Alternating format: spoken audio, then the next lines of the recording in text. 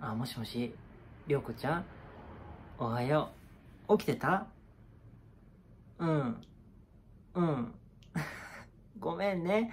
こんな早くに起こしちゃって。いや、もう今日、ね、当落じゃない。もう私なんかもう、まあ寝れたは寝れたんだけど、もう朝、すごい早く起きちゃって、今もう、ねなんかドキドキしててもう、もう一回寝ようと思ったんだけどね、もう寝れなくて。あー、もうね、りょうこちゃんどうかなと思って電話してみたいのよ。やっぱ起きてた。うん、起きてたよね。うん、もう怖いもんね、ドキドキしちゃう。ねえ、どうしようね、本当に。あとちょっとでしょ？うん、そうなのよ。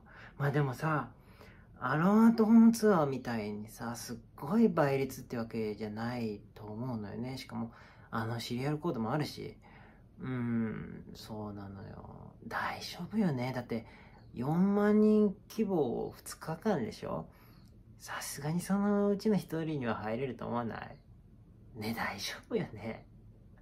さすがにここで落ちたったらもう、ね、笑っちゃう。笑っ、笑っちゃいけないんだけど、笑っちゃうよね、なんかちょっとね。うん。ねまあどうなるかわかんないけどね。そうなのよ。うん。うん。うん、そうそうそう。そうそう、もうね、現実、そう、もう、あの、私もう考えたくないからもうお酒飲んじゃったんだけど、もうね、全然ダメよ。もう朝パッシリ目ちゃ、目、目覚めちゃったからね。そうそうそうそう。そうそう。うん、ごめんね、あの、こんな早くかけちゃって。うん、一緒に行こうね、もうホテル取ってんだから。ね、うん。ねえ、そうよ。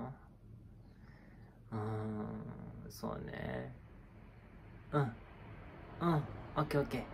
私もちょっとね、家の中掃除とかしようかしらね。もうちょっと考えたくないもんね。うん。うん。じゃあね、また、あの、どうだったか教えてね。うん。はい。はい。じゃあね、バイバイ。はーい。うん。はいはいはい。